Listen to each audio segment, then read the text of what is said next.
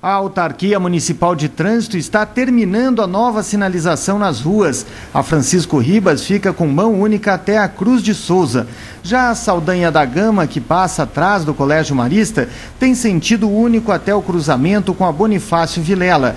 A região tem um grande movimento de veículos e os fiscais do trânsito, durante o dia inteiro, estão orientando os motoristas. Aqui é sentido único a via agora aqui. Ah, tá, tá. E dá para prestar atenção no cruzamento, que foi mudar a sinalização também.